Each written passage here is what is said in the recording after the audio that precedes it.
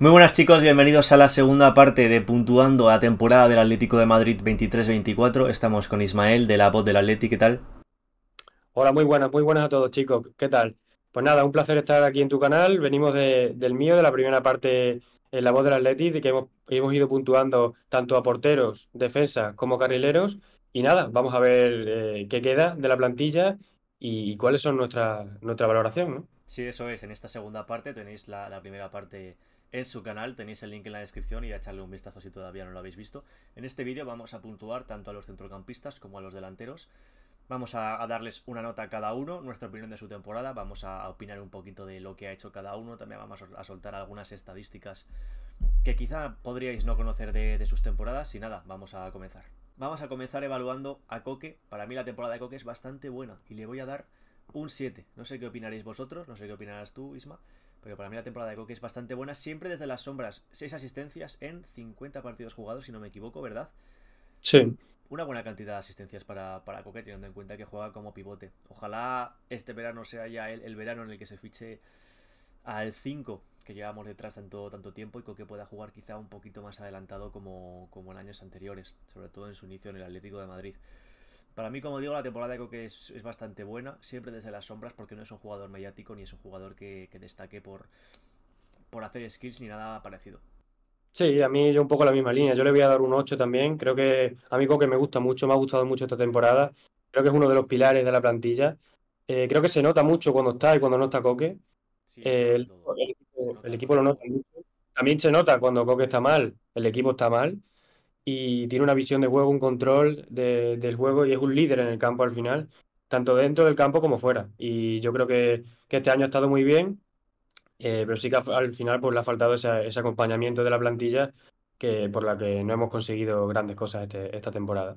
Continuamos con otro canterano del Atlético de Madrid, en este caso es Pablo Barrios, que para mí la nota estoy entre un 6, 6 y medio, voy a acabar dándole un, un 6 y medio, una nota un poquito más alta. Pero sí que decir que en general Esperaba un poquito más de Pablo Barrios esta temporada. Ya era su primera temporada completa en el Atlético de Madrid. Comenzó muy bien tras la lesión de Coque en el primer partido de liga contra el Granada. Podíamos quizá verle en esa posición de 5, ya que no se había fichado ningún 5 en el verano y Coque estaba lesionado.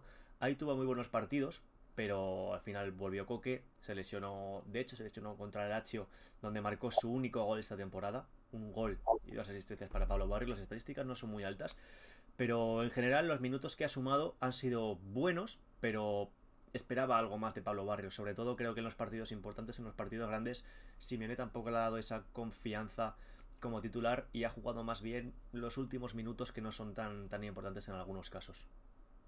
Sí, yo creo que eh, Barrio, a mí me gusta mucho este chico, creo que es un jugón, tenemos un, diamante en bruto en la plantilla, pero sí que le trastocó mucho la lesión. Yo al final le, voy a dar un 7 porque confío, confío mucho en él y a mí me ha gustado mucho los minutos que le he visto. Sí que lo que comento, ¿no? Pues la lesión, eh, esos primeros partidos tras la lesión, pues le ha costado más entrar en, en, la dinámica del grupo. Pero bueno, yo creo que debe de seguir creciendo, debe de seguir aprendiendo y, debe de seguir jugando sobre todo, porque al final jugadores como estos se, se hacen eh, jugando y, creo que tenemos un grandísimo jugador para el futuro. Vamos ahora con el que es para mí uno de los mejores futbolistas de esta temporada del Atlético de Madrid. Estamos hablando de Marcos Llorente y mi nota para Llorente es de un 8.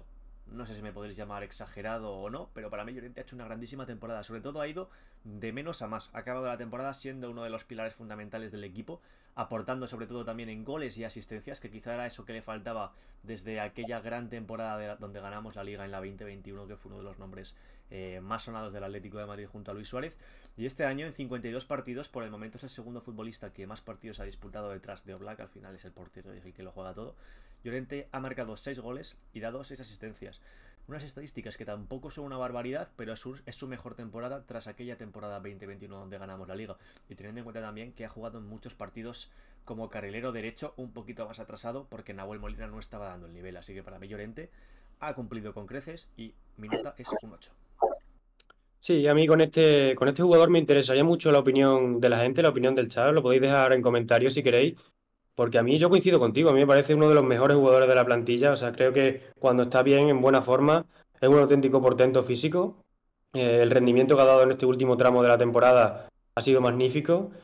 Sí que es verdad que han tenido un pequeño, unos pequeños altibajos al principio de la temporada, pero a partir de casi que 2024, eh, pues no lesionándose, jugando, siendo regular, creo que ha sido también uno de los mejores. Mi nota para él es un 7, porque al final eh, el equipo no, no, no está como para, para ponerle notas muy altas, ¿no? Y pues eso, cuando atraviesa un buen momento de forma, para mí yo creo que es imparable. Sí, además es un futbolista que, al igual que hemos hablado antes de Azpilicueta, es un futbolista eh, que te puede ocupar muchas posiciones del campo. Hemos visto a Llorente, incluso en el mismo partido, llegar a jugar hasta en tres posiciones diferentes. De centrocampista, su posición natural, de carrilero hasta incluso de delantero. En aquellos partidos donde ha faltado Griezmann, ha faltado Morata por lesión, hemos podido verle hasta en tres posiciones en, los mismos 90 minutos. Algo que también, pues, oye, nunca viene de mal. Sí, sé que al final es un jugador que ocupa muchas partes del campo y esto ha tenido que llamar la atención del seleccionador español que lo ha convocado para la Eurocopa porque es que al final es un jugador de estas características y el nivel que estaba dando no lo puedes obviar en un, en un torneo como una Eurocopa. Vamos a puntuar ahora a Arthur Vermiren, futbolista que llega en el mercado de invierno y que apenas ha tenido participación, lamentablemente, y que muchos no nos explicamos por qué ha jugado tan poquito. Vermiren tan solo desde el mes de enero, cuando llega al Atlético de Madrid, juega 5 partidos, 160 minutos en total, pero hay que decir que de esos 160 minutos, unos 60 aproximadamente los juega en el último partido contra el Real Sociedad, donde es titular y apenas nos jugamos nada, por no decir que ya no nos jugábamos nada porque no había posibilidad ni de quedar terceros ni de quedar quintos. Al final a ver, miren, es complicado puntuarle. Yo personalmente no voy a ponerle nota porque ha jugado dos ratitos y la mayoría de minutos que ha jugado ha sido con el marcador desfavorable, como por ejemplo contra Osasuna, cuando íbamos perdiendo 1-4 y el Cholo le da entrada a ver, miren, porque ya no tiene nada que perder. O contra el Cádiz, cuando ya vamos perdiendo 2-0 que hace lo mismo, le, da entrada al belga y apenas, apenas puede, puede demostrar su juego. Al final Berminia es un futbolista que tiene muchísimo potencial, tiene el techo muy alto, todos tenemos muchas ganas de verles con continuidad esta temporada y esperemos que sea así, pero yo personalmente no voy a puntuarle porque me parecería algo injusto. Sí, yo un poco en la misma línea, ¿no? Eh, si hay que puntuarle, eh, yo incluso le pondría un aprobado porque es un jugador que ha tenido mucha paciencia y la está teniendo. Como que al final no es fácil, un jugador de su edad con su talento y su potencial, con una Eurocopa en el, horizonte, eh, no jugar prácticamente nada y se apostó mucho por él. Simeone apostó por, ese 5 que a lo mejor necesitaba y, era urgente en este, en este mercado de invierno, pero eh, curiosamente pues no ha jugado prácticamente nada, esos cinco, cinco partidos divididos en, en 160 minutos. Y bueno, al final eh, hay que destacar la paciencia que ha tenido este chico y, y cómo se está adaptando a la que puede ser la, temporada de su explosión o de su, de su mayor nivel en el Atlético de Madrid la próxima temporada, que ojalá así sea. Seguimos puntuando en este caso a Tomás Lemar, futbolista que, al igual que yo a ver, miren, no le he puesto nota, a Lemar pues eh, prácticamente lo mismo. Lemar no ha jugado apenas eh, más allá de tres o cuatro partidos esta temporada, se lesionó en septiembre, concretamente el 16 de septiembre, en Mestalla, en el partido donde el Atlético de Madrid pierde por tres goles a cero ante el Valencia una lesión larga que le ha tenido de baja toda la temporada literalmente, únicamente ha vuelto a estar disponible para, para Simeone en los últimos dos partidos contra Osasuna y Real Sociedad, donde no ha disputado ningún minuto, por lo que no se le puede puntuar a Tomás Lemar. Sí, al final es un jugador que se lesionó en septiembre y desde ahí no ha vuelto a jugar, tan solo tres partidos, pero eh, mucha gente piensa que su lesión eh, le ha ocasionado no jugar en toda la, en toda la temporada, pero es que Lemar se recuperó de lesión eh, estaba ya para jugar con el equipo y se volvió lesionado, en un entrenamiento de otro, de otro, otro tipo de lesión, ¿no? una lesión muscular, y ahí ya le, aportó otro, le apartó otro mes y ya pues no pudo, no pudo participar en esta temporada. Entonces, pues nada, no, no podemos calificar a, Alemar. Vamos a puntuar a continuación un futbolista que va a traer opiniones dispares. Lo estoy viendo. Estamos hablando de Rodrigo de Paul, un futbolista eh, que yo a veces lo amo, a veces lo odio. No sé si os pasará a vosotros, no sé si te pasará a ti, Ismael. Pero para mí la nota de Rodrigo de Paul va a ser un 7. Un 7. Para mí ha hecho una buena temporada, pero sí que es verdad que ha tenido ciertos momentos en los que a mí personalmente me saca bastante de quicio. Para mí Rodrigo de Paul es un futbolista que cuando está bien, está verdaderamente bien, se nota y es decisivo y es diferencial. Pero cuando está mal, tiene errores quizá por, por tener demasiada confianza, algo que le pasa también a Mario Hermoso, pienso. En ese, en ese aspecto pienso que son algo similares y comete errores infantiles que no deberían cometerse y que acaban costando, costando caro. 48 partidos ha jugado Rodrigo de Paul esta temporada con el Atlético de Madrid, 4 goles, y 6 asistencias. Unas cifras bastante buenas teniendo en cuenta la posición en la que juega. Y sobre todo creo que ha tenido tramos muy altos de la temporada, como ese mes de enero o febrero donde nos jugábamos todo en la Copa del Rey. Y este último mes, donde también ha dado varias asistencias, ha marcado un golazo contra el Celta y ha jugado a, un muy buen nivel. Para mí Rodrigo de Paul quizá tenga que pulir un poquito esa irregularidad y esos altibajos que tiene de vez en cuando, pero para mí esta temporada ha cumplido bastante bien. Sí, al final es un jugador que no sabes qué esperar de él porque es muy irregular. Creo que tiene que, como tú has comentado, pues mantenerse un poco más estable, mantener ese buen nivel que sabemos que da, porque lo da muchas, en muchas ocasiones. Con Argentina también lo ha dado en el, último mundial que ganó y, casi siempre que, va a la selección lo da. Ese jugador que es capaz de hacer jugadas maradonianas, me acuerdo una, una asistencia que dio regateando 3-4 jugadores, no me acuerdo en qué partido era. Y, bueno, también el golazo eh, contra el Celta, pero también el partido en los que ha estado muy desaparecido y, perdido, sobre todo fuera de casa.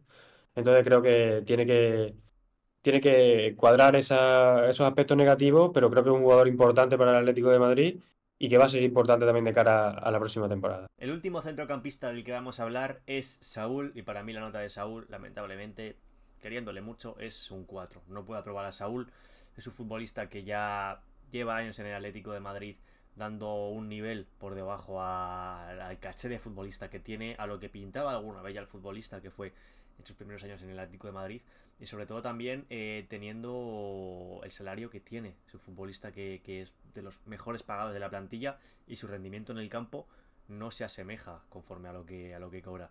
Al final Saúl son dos goles y cinco asistencias en esta temporada. No son estadísticas para nada malas en 49 partidos, aunque algo así engañosas. Las cinco asistencias que da Saúl son buenos números, pero hay que recordar que esas cinco asistencias las da en los primeros 5 o 6 partidos de la liga, varias de ellas en, aquel, aquella goleada eh, al Rayo Vallecano donde ganamos por 0 goles a 7, entonces son quizá estadísticas algo engañosas. Sí, al final Saúl eh, yo también lo voy a suspender, yo le doy un 3.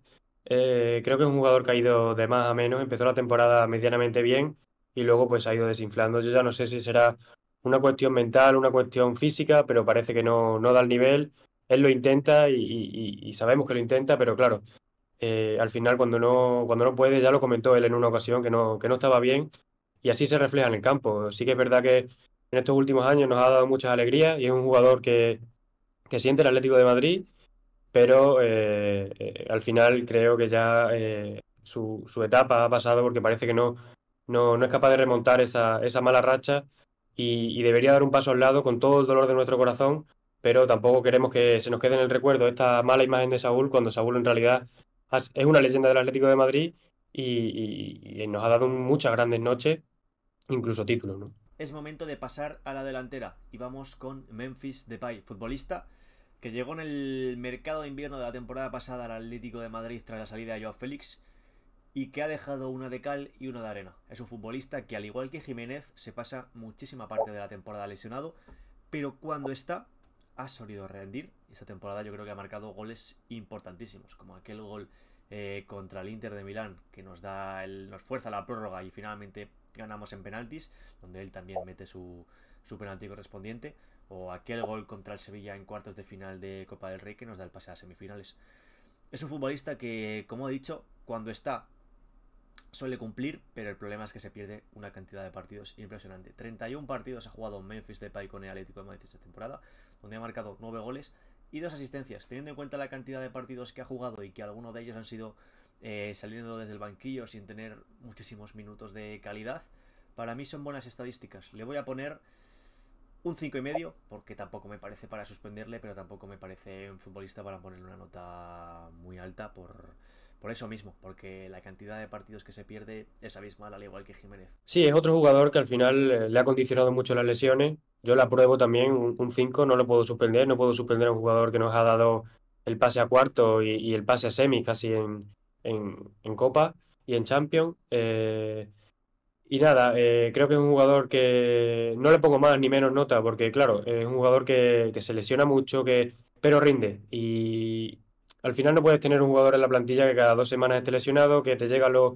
los cuartos de la Champions y está y, fallas a última hora y pierdes un delantero. Entonces creo que es un delantero que, como tú bien dices, si, si, si, si tuviera eh, esa regularidad y, se mantuviera estable, pues creo que podría ser un delantero importantísimo para el Atlético de Madrid. Sus goles así lo, así lo dicen, pero claro, eh, es un jugador que al final, pues, pues puede ser que salga, va a salir del Atlético de Madrid, porque al final eh, el Atlético necesita pues, un delantero que no te falle y que esté ahí y pueda puede aportarte soluciones cuando el equipo más lo necesita. Es momento de hablar de Ángel Correa, el mítico futbolista 12 del Atlético de Madrid de la era Simeone. Mi nota para Correa va a ser un 6 y medio. Estaba dudando si ponerle un 6 quizá, pero voy a poner un 6 y medio. Son 11 goles y 3 asistencias en 47 partidos.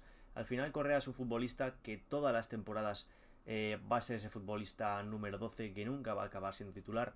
Siempre va a salir la mayoría de los partidos desde el banquillo pero te va a acabar las temporadas siempre con esos 10-12 goles, una buena cifra, teniendo en cuenta que es un revulsivo y que es un delantero a priori suplente, ¿no? En la gran mayoría de los encuentros. Eh, para mí esta temporada de Correa quizá haya estado un poquito por debajo de, las últimas dos campañas, pero no ha sido mala, teniendo en cuenta que lo que se espera de Correa, que no te esperas un futbolista que te marque 20-25 goles porque tampoco va a tener los minutos suficientes ni, los galones suficientes para hacerlo. Cuando está bien, eh, se nota porque, porque te hace unas cosas dentro del área y en espacios pequeños que otros futbolistas no son capaces de hacerte y es un futbolista muy diferente que tienes en plantilla para, revolucionar ese tipo de partidos pero cuando está mal es un futbolista que al menos a mí me, vuelve, me, vuelve loco y me saca de quicio. Sí, tal y como comentábamos que Memphis eh, no es un jugador regular, eh, Correa sí que lo es porque siempre está ahí. O sea, es un jugador que cuenta, que el Cholo cuenta con él siempre, que a veces puede rendir mejor, a veces puede rendir peor, hay gente que lo ama, hay gente que lo odia, y, bueno, es un jugador que, ha tenido una mala racha con casi salida en invierno, estuvo muy cerca de salir. Yo creo que ahora va a continuar en el Atleti. Y al final, 47 eh, partidos creo que eran.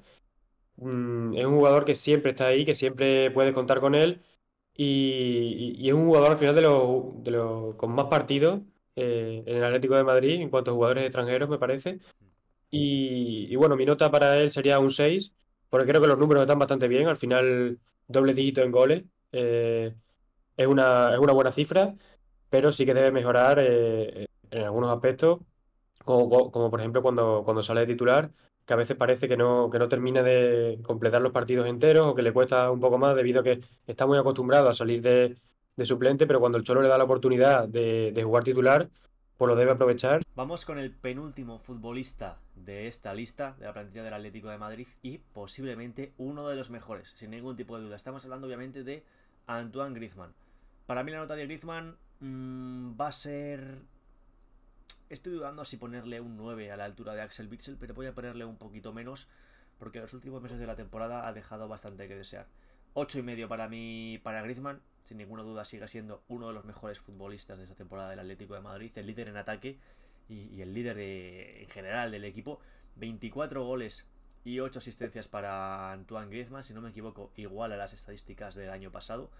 Únicamente que esa temporada ha marcado más goles pero ha repartido menos asistencias, pero igualmente, ya con 33 años, es un futbolista diferencial en el Atlético de Madrid. Y que sí que es cierto que los primeros 6 meses son completamente espectaculares, los que hace junto a Álvaro Morata, que le pasa algo parecido. Y desde enero a febrero su rendimiento empieza a bajar considerablemente hasta que ha dejado incluso de ser decisivo en, determinados encuentros. Sí que es cierto que también ha estado lesionado eh, varias semanas y varios partidos los ha disputado, parece ser con, molestias en ese tobillo porque no se había recuperado al 100% de la lesión. Pero Griezmann no, deja de ser Griezmann, no deja de ser el futbolista más importante del Atlético de Madrid ha marcado 24 goles, se ha convertido en el máximo goleador de la historia del club esta temporada. O sea que para mí un 8 y medio tiene que seguir liderando el proyecto la temporada que viene, como mínimo una temporada más, pero sí que pienso que sobre todo ya los últimos meses de la temporada hay que saber darle más descanso, porque si no llega fatigado y, rinde menos, que es lo que se ha visto este año. Al final es nuestro, nuestro jugador diferencial, nuestro jugador estrella, y creo que comenzó la temporada muy bien. Es una pena que este último tramo, estos últimos meses, eh, no haya estado, no haya estado a, su nivel y al, y al, gran nivel que nos acostumbra, que nos acostumbra Griezmann. Y aún así ha hecho una grandísima temporada, 24 goles, 8 asistencias. Mi nota para él es un, 7,5. Al final es un poquito más baja que otras que he dado en el otro vídeo. Y Creo que Griezmann eh, también ha estado muy condicionado con la tralla de partidos que, no, que se, se metió en, en los meses de enero, febrero. Eh, al final son, son muchos, muchos partidos, muchos minutos y tuvo esa pequeña lesión en el tobillo que le trastocó, eh, le, le, estuvo molestando varios partidos y, y, eso, no, eso impidió un poco a Griezmann pues, mostrar esa felicidad que tiene jugando, esa alegría y, y ese jugador que, que, que, lleva el balón pegado al pie, que, que, parece que para el tiempo jugando y al final pues se ha convertido en historia del Atlético de Madrid, eh, convirtiéndose también en el, máximo goleador y, bueno, es un jugador que a los sus 33 años, la verdad que eh, es un líder, de, igual que Coque, ¿no? Es un líder en el campo y creo que también va a ser muy importante para la temporada que viene. Llegamos ya a puntuar al último futbolista de este vídeo, el último futbolista de la plantilla del Atlético de Madrid. Estamos hablando de Álvaro Morata, otro delantero, otro futbolista que la nota va a traer discusión. Unos le pondrán mejor nota que otro porque al igual que Griezmann ha tenido eh, dos partes de la temporada completamente diferentes. La primera parte de la temporada de Morata más bien hasta el mes de enero-febrero es sin duda una temporada de casi 10 y su último tramo desde febrero hasta, hasta este último partido frente a la Real Sociedad seguramente sea una temporada de un 1 o un 2 porque ha estado muy fallón, ha marcado poquitos goles y sobre todo ha estado con poca confianza. Pero para mí, la nota media de Álvaro Morata le voy a poner un 6,5 porque al final, eh, como ya digo, son 21 goles y 5 asistencias en, en, total en la temporada. Es su temporada más goleadora de, de, toda su carrera. Y para poneros en contexto, ha marcado los mismos goles que marcó Luis Suárez el año que ganamos la liga. Ha dado dos asistencias más en prácticamente los mismos minutos disputados, unos 2.970 si no me equivoco. Eh, como ya digo, la, gran mayoría de esos goles llegan en los primeros meses de temporada, que son fascinantes y está a un nivel estratosférico. Y a partir, yo creo que de esa lesión, creo que es frente al Sevilla, que pareció una lesión de rodilla tan grave que al final se queda en, en, en nada, en 10 días de baja. Creo que a partir de ahí el rendimiento de Morata baja considerablemente. Pierde la confianza, ya sabemos que Morata es un futbolista muy de rachas, que cuando está bien y está confiante, pues las marca todas, pero cuando empieza a fallar alguna que otra ocasión y, que no le entra en la pelota, eh, se viene un poco abajo mentalmente, psicológicamente y, no da el rendimiento que debería. También muchos achacarán eh, aquel fallo de Dortmund, que podía haber cambiado la eliminatoria completamente, pero bueno, al final son fallos puntuales, para mí un 6,5. Eh, no le pongo más nota por los últimos meses que ha, que ha realizado y tampoco le pongo menos porque los primeros meses son muy, muy buenos. Sí, al final yo coincido un poco contigo en todo lo que has comentado. Al final Morata empieza la temporada como un tiro, luego parece que va perdiendo esa puntería que, que los primeros meses le entraba todo y, y, claro, si hay que puntuar los primeros meses es un 10 y si no, pues es un, un 2, un 3, 2 haciendo la media, pues eso, un 6,5, un 6. Yo también le puedo dar esa nota porque al final, si tu delantero desaparece, igual que Memphis, si tu delantero desaparece en los momentos clave de la temporada, pues al final eh, necesita que esos jugadores estén ahí, que te marquen los mismos, los goles que te, que te hacían en, los primeros meses, pues tienen que hacerlos también eh, en, ocasiones como esa de Dortmund que comentaba, que al final eh, se va a quedar en la mente de, de muchos de, mucho de, de, nosotros, porque podría cambiar la eliminatoria, pero bueno, al final son fallos que, que tienen los delanteros y, y yo por, por estadística, o sea, es una temporada con muchos goles, 21 goles, 5 asistencias. Eh, para un delantero como Morata eh, es una gran temporada, pero bueno, es un jugador muy sacrificado que lo da todo, también en defensa eh, se sacrifica mucho por el equipo y, y, al final, bueno, pues, pues Morata, eh, ese, ese 6, 6 y medio con el que se queda y terminamos así pues, pues las puntuaciones de la plantilla. Y hasta aquí el vídeo donde damos todas nuestras notas de la temporada del Atlético de Madrid. Os recuerdo que aquí habéis tenido las notas de los centrocampistas y los delanteros en el canal de Isma, la voz del Atleti, que lo tenéis en la descripción. Tenéis la primera parte con los porteros, defensas y carrileros. Ahora es tu turno. Quiero que dejes en comentarios cuál es para ti la nota general de la temporada del Atlético de Madrid. Quiero que dejes también la nota de los uno a uno de los futbolistas que hemos comentado en este vídeo y alguien que no hemos valorado es el entrenador Diego Pablo Simeone. ¿Qué nota le pones tú a Diego Pablo Simeone? ¿Ha cumplido? ¿No ha cumplido? Para mí en ciertos tramos sí, pero ha tenido partidos en los que yo al menos pensaría de, otra forma con las acciones que, que ha tenido. Espero que os haya gustado el vídeo, no dudéis en pasaros por su canal, suscribiros, tenéis su vídeo en la descripción, darle like al vídeo, apoyadlo y ya sabéis, comentar todo lo que os he dicho. A Paletti.